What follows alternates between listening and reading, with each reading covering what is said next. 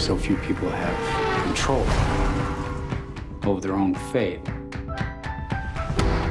You just hope that whoever's got you out there will be compassionate. Game ain't never gonna be fair. Not for us down here. It never is. There's power in the truth. Guilty or not, everyone deserves a defense.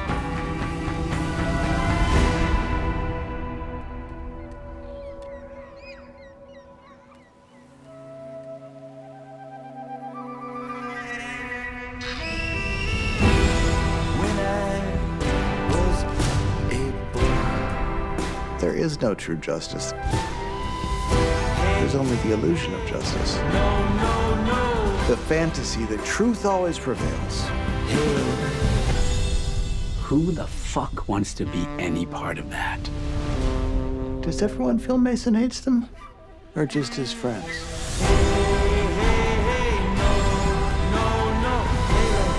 This is my responsibility.